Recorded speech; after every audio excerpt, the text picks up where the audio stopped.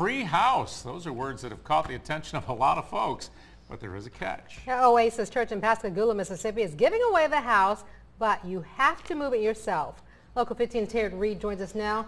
Taryn, even though this post has gone viral, the church is still looking for a taker. That's right, Kim. The house sits on beautiful Pascagoula Street, and right next door is Oasis Church. But the church wants to build a parking lot, so they were given the option sell it or demo it, both which would have cost the church thousands of dollars. So they decided to give it away for free. Yes, for free. I first saw the post on my Facebook page. The church says it originally posted it to Craigslist, then shared to Facebook and Twitter.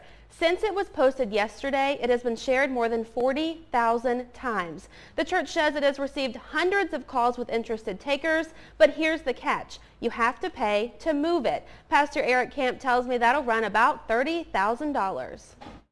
We've run out of parking room primarily, and this one house that we have located right in the middle of our parking lot, uh, we have the choice to either tear it down, which is going to cost anywhere between six and ten thousand dollars to tear it down, demo, and all that kind of stuff, or just donate the house.